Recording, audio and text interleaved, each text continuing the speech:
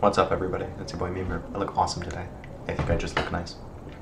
Um, for breakfast, I had a cheese bagel and oatmeal and tea. For lunch, I had a chicken sandwich. It was so tasty. It was so good.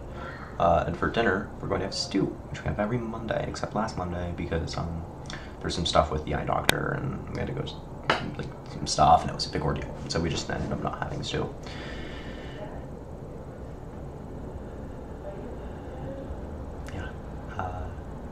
Using Linux is always a treat. You know, it's not for everybody, but I just love tinkering with my computer. And, uh, you know, I've been watching uh, Linus Tech Tips uh, Show clips talking about his experience with the Linux challenge so far.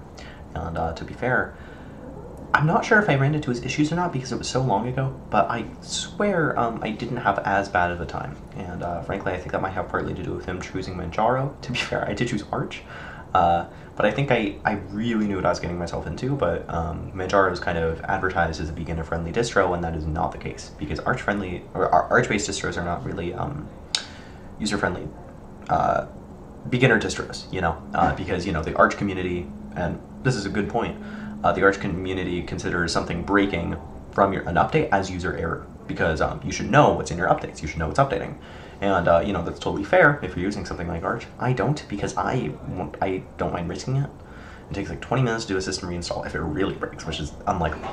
Um, but, uh, yeah, Manjaro is not a beginner-friendly distro because uh, it is not, the, the way it's set up, Arch is not set up to be user-friendly. Uh, so, yeah.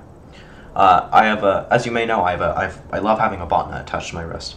And, uh, I recently, my old strap broke and I got this nice new magnetic strap. It's always been in my drawer, but I never really put it on. So my strap broke and it's really nice. It's a strong magnet. Uh, you see things like the Apple Watch with their, uh, I forgot what it's called, but they have a magnetic band and it, from the videos I've seen, it looks not very strong. and so I'm not sure if I'd want something like this, but this really stays in place and even if it goes loose, it doesn't even completely come off. So uh, something like that is really nice. All right, see ya, dude.